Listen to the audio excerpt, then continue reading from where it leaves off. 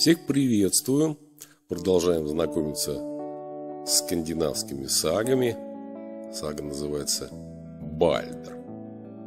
Бальдр – господин.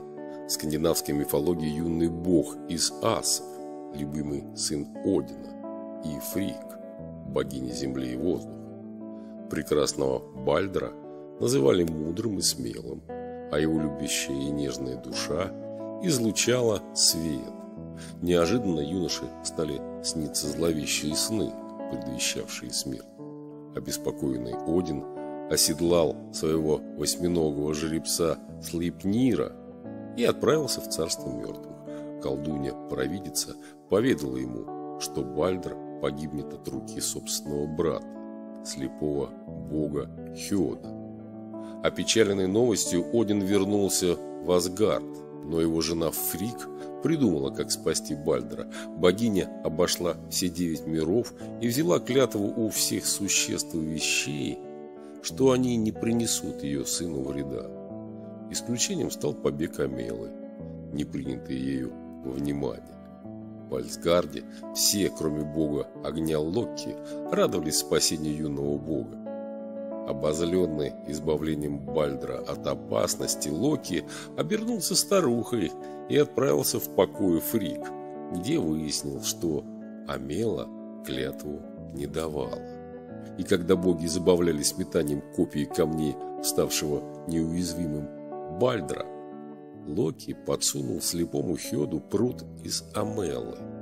Побег пробил грудь Бальдра, и бог упал замертво. Фрик попыталась вызволить сына из царства мертвых. По ее просьбе Хермот отправился туда выкупать Бальдера. Пока Хермот находился в пути, тела Бальдера и его жены Нанны, умершие от горя, перенесли на погребальную ладью, подожгли и столкнули в море.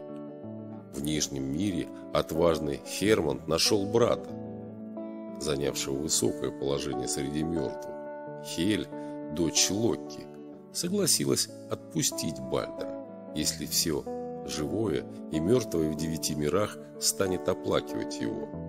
Во все концы света были посланы гонцы, и вскоре рыдали даже камни. Лишь старая великанша Тёк отказалась плакать, заявив, пусть Хель останется то, что у нее есть. Опечаленные боги не сразу распознали в Тёк злобного Локи. Так Бальдр навсегда остался в царстве Хель. Миф о безвременной смерти светоносного красавца-бога напоминает греческие мифы об умирающем и возрождающемся боге Адонисе.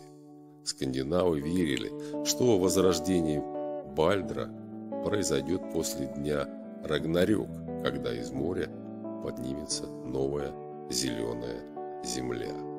Ну вот такая скандинавская сага о Бальдре.